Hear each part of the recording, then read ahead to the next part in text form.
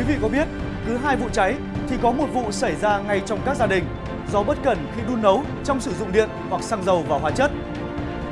Khi đun nấu, thắp hương hay hàn cắt kim loại phải có người trông coi.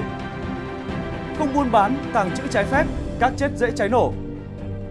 Sắp xếp đồ dùng vật liệu dễ cháy sang nguồn lửa, nguồn điện ít nhất 50 cm.